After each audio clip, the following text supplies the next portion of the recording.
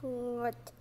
Alright, who's responsible for changing the style into cat crew style? It was was my fault.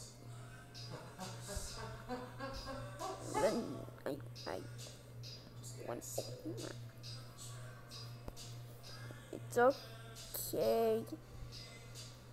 AH change the sound go back to TVOP style and then we'll move on to another take.